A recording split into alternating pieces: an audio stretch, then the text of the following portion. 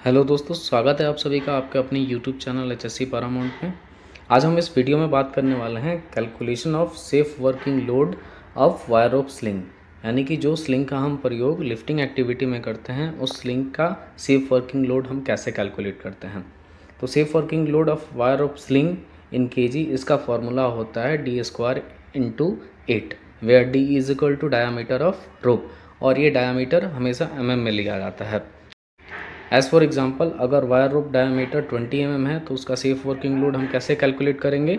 तो S W L is equal to D square into eight यानी कि 20 into twenty into eight जो कि होगा 3200 के जी उसको हमको अगर टन में कन्वर्ट करना है तो इसे हम 1000 से डिवाइड कर देंगे तो ये आ जाएगा 3.2 टन.